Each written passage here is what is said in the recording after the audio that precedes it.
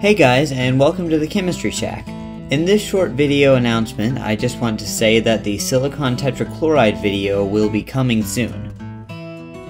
I've been promising to make this video for quite a while now, and I'm finally getting around to it. I've performed the reaction a total of four times and have filmed two of the trials, but I am still improving the procedure, so I will perform two more trials this weekend with slight variations in the setup so I can figure out what works best.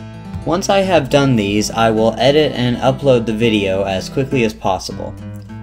But in the meantime, Nile Red has a great video on this same synthesis, so you should definitely check that out by clicking the annotation on the screen or the link in the description. He does a fantastic job covering the details of the experiment and the chemistry behind it. And of course, feel free to like, comment, and subscribe to my channel if you like my videos.